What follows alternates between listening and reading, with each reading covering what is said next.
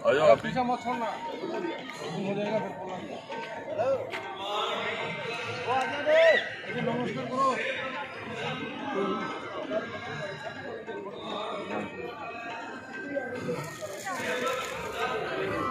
हो गया कर लो ग्रुप कर लो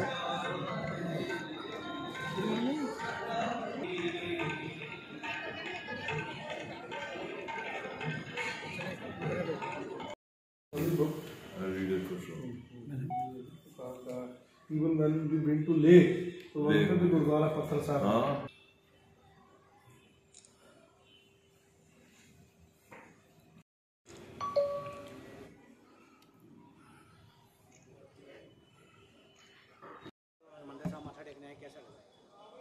अच्छा ही लगेगा, इसलिए तो आए हैं।